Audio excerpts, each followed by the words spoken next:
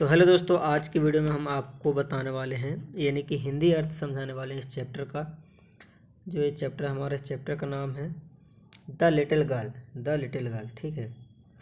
यहाँ पर do you feel you know your parents better now तो ये चैप्टर बहुत ही अच्छा है और ये एक छोटी सी बच्ची के लिए चैप्टर लिखा गया है। तो बहुत ही इंटरेस्टिंग है चैनल पर नए हैं तो आप लोग सब्सक्राइब कर सकते हैं।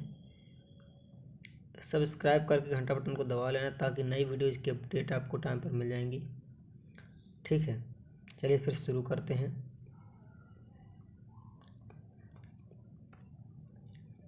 यहाँ पर to the little girl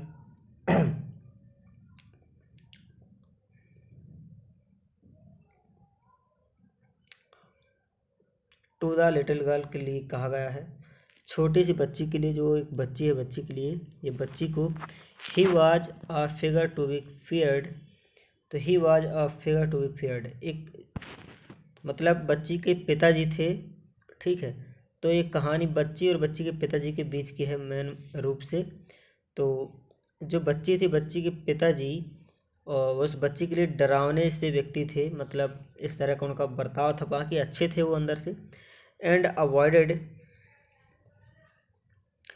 and avoided every and avoided ठीक है ना? और अक्सर इग्नोर कर दिया करते थे बच्ची को, ठीक है? एक दिन की बात है, यानी कि हर सुबह वो एक ज़रूरी बात किया करते थे मतलब एक, जो कि डेली उनका करना ही था, एक आदत थी उनके पिताजी की, क्या थी?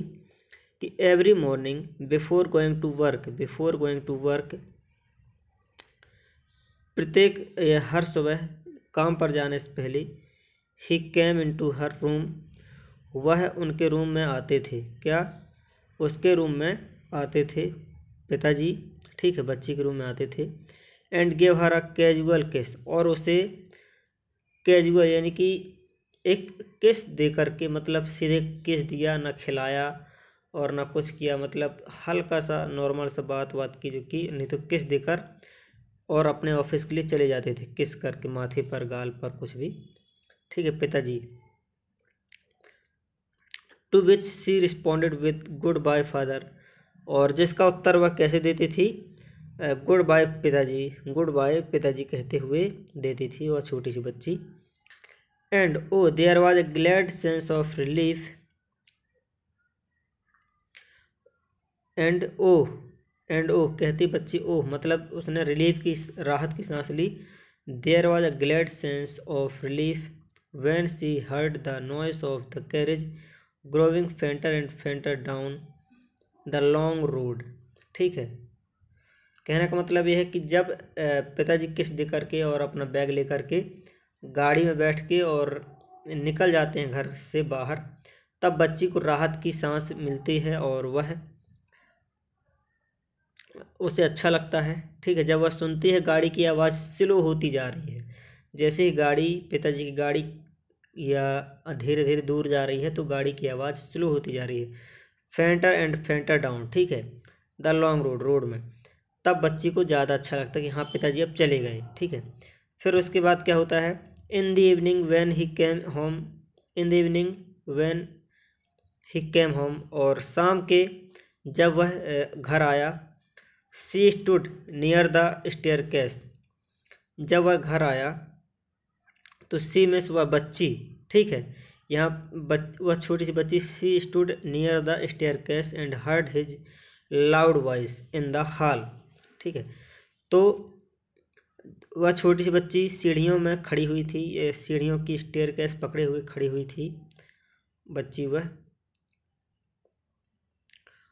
और and heard his loud voice और उसने अपने पिताजी की तेज आवाज़ सुनी इन द हाल हाल में उसने अपने पिता जैसे पिताजी शाम के आए तो अपने पिताजी की तेज आवाज़ सुनी, हाल में उसने, और क्या सुनी bring my tea in to the drawing room मेरी ड्राइंग रूम का मतलब होता, वही जो मेन पोर्च बैठका होता है तो वहाँ पर जल्दी से मेरी चाय लाओ, ठीक है? जल्दी से मेरी चाय लाओ। Hasn't the paper one come yet क्या अभी तक पेपर नहीं आया है? Hasn't the paper come yet क्या अभी तक पेपर नहीं आया है? ठीक है।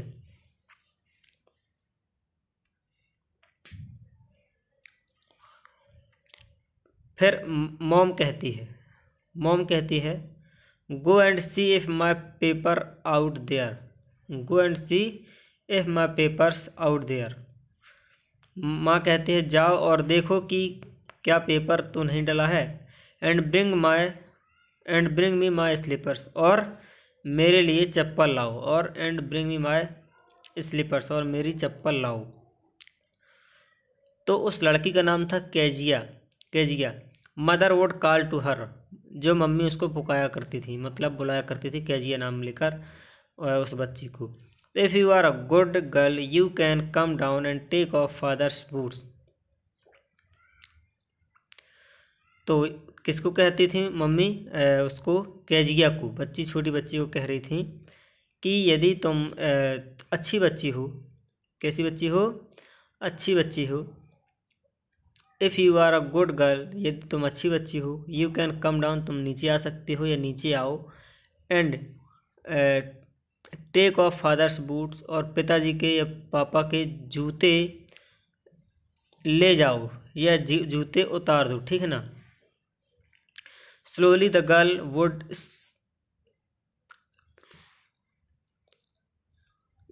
तो जो बच्चे छोट धीरे धीरे I would slip down the stairs तो हल्के से चुपके से नीचे उतरना स्लिप डाउन हल्के से नीचे से उतरना, ठीक है ना? More slowly still across the hall पूरे हॉल में भी वह बहुत ही स्लो और आराम से हट रही थी. And push open the driving room door और उसने अपने ड्राइविंग रूम का जो दरवाज़ा था उसने धक्का देकर खोला। पुश ओपन का मतलब होता है धक्का देकर खोलना। By that time he had his spectacles और बाय दैट टाइम उस समय तक ही हैड हिज स्पेक्टेकल्स उसने अपना चश्मा भी पहन लिया था। किसने? ए, उसके पिताजी ने। किसने? उसके पिताजी ने अपना चश्मा पहन लिया था। And looked at her looked at our her her our them in a way that was terrifying to the little girl और इस तरह से देख रहे थे, चश्मा पहन के और अपनी बच्ची को इस तरह से देख रहे थे, भाई देखो, जो उसकी बच्ची थी, पिताजी को डर रही थी तो आराम से चुपके चुपके धीरे धीरे पिताजी की ओर जा रही थी वो। तो पिताजी ने जब तक चश्मा भी पहन लिया, उसके पहुँचने से पहले और अब बच्ची को देख रहे थे कि हाँ बच्ची धीरे धीरे आ रही है, ठीक है। तो इस तरह से देख रहे थे, मानो that was terrifying to the little girl कि जैसे वह बच्ची को डरा रहे हों है ना? मतलब बच्ची से प्यार नहीं करते थे। ऐसा बर्ताव करते थे जैसे डरावना सा बर्ताव बच्ची डर रही थी है ना? कैजिया डर रही थी। Well Kezia hurry up and pull off these boots and take them outside have you been a good girl today तो अब कौन कहता है? वेल well, अच्छा काजिया ठीक है। Hurry up and pull off this boots कहते हैं कि आओ और मतलब जल्दी करो और इन चप्पल्स को या इन जूतों को बूट्स इन जूतों को टेक दैम आउटसाइड इन जूतों को बाहर रख दो। क्या कर दो? टेक दैम आउटसाइड इन जू जूते जूते जो हैं इनको बाहर रख दो। Have you been a good girl today क्या तुम आज बहुत अच्छी लड़की बन गई हो? है ना? या आज तुम बहुत अच्छी लड़की हो? तो I didn't I didn't know father यानी कि वो बच्ची तुतलाते हुए कहती है, पिताजी, मुझे पता नहीं है कि मैं अच्छी हूँ या ख़राब हूँ। ठीक है, इस तरह से बोलती है। You didn't know you didn't know if you sat if you stutter like that mother will have to take you to the doctor है ना? मतलब वह तुतला रही थी, हल्का सा तुतला रही थी तो उसको, उसके पिताजी को लगा कि इससे कोई प्रॉब्लम है। तो you don't know you you D know इस तरह से बोल रही थी। तो पिताजी ने मतलब उसको कहा कि if you stutter stutter like that यदि तुम इस तरह से uh, तुतलाओगी तो मोम तुम्हें डॉक्टर के पास ले जाएँगी। कहाँ पर ले जाएँगी? डॉक्टर के पास ले जाएँगी। If you stutter like that यदि तुम इस तरह से तुतलाओगी बोलोगी धीरे धीरे स्लो स्लो तो mother will have to take you to the doctor mom को तुम्हें डॉक्टर के पास ले जाना होगा। ठीक है? हैव टू टेक टेक में से ले जाना टू यू द डॉक्टर फिर इसके बाद से never stuttered with other people लेकिन जो बच्ची थी, बच्ची किसी के साथ भी स्टडर नहीं करती, यानी कि तुतलाती नहीं थी, हकलाती नहीं थी, है ना? हकलाना, एक तुतलाना होता है, एक हकलाना होता है तो हकला रही थी स्टटर का मतलब होता है हकला रही थी, ठीक है had quite given it up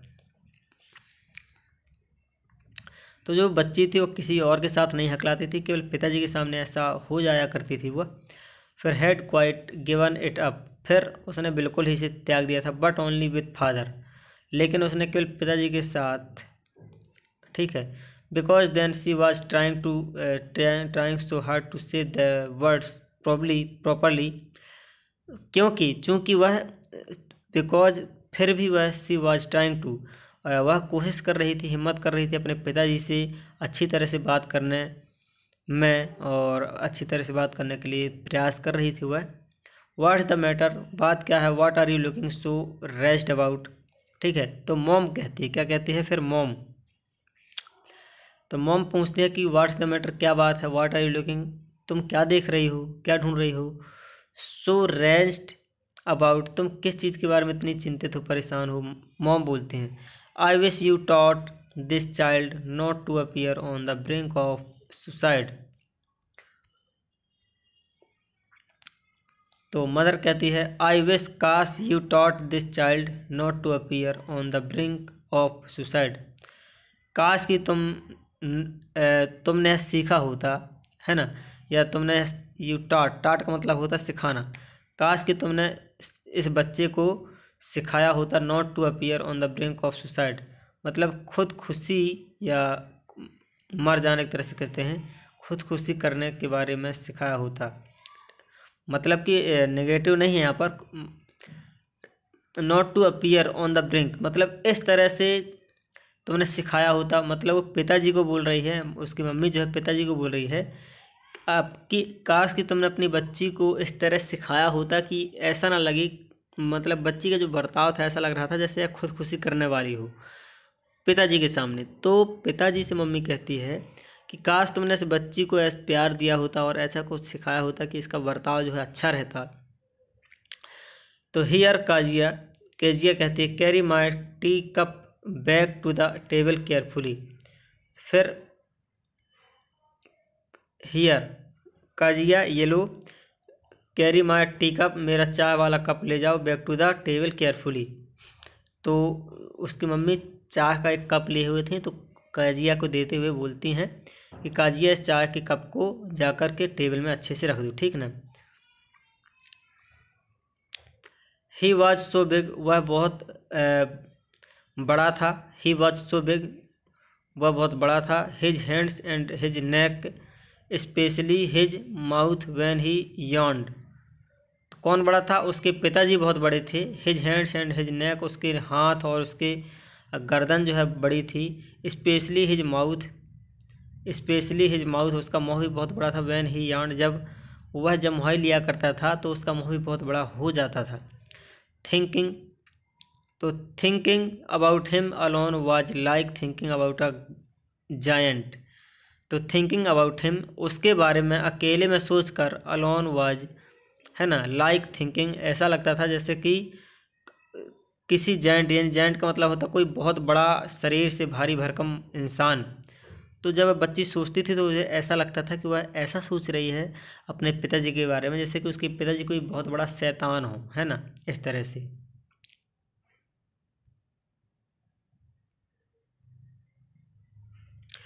तो यहाँ हमने केवल इस अभी तीन पॉइंट ही कवर किए हैं यहाँ तीसरा तक। तो अगली वीडियो में हम चौथा पॉइंट को कवर करेंगे। सो यदि आप लोगों ने चैनल को सब्सक्राइब नहीं किया तो सब्सक्राइब कर लेना अगले पार्ट के लिए। और हाँ वीडियो लग अच्छा लगा तो वीडियो को लाइक कर देना। और यदि आप पार्ट टू देखना चाहते तो पार्ट टू की लिंक आपको डिस्क्रिप्शन पर मिल जाएगी। पार्ट टू की मैंने वीडियो ऑलरेडी बना दी है और आपको डिस्क्रिप्शन पर यहाँ मोर मोर लिखा होगा। तो मोर पर क्लिक करेंगे तो वहाँ पर नीचे आपको पार्ट टू की लिंक मिल जाएगी। मिलते हैं फिर नेक्स्ट वीडियो में।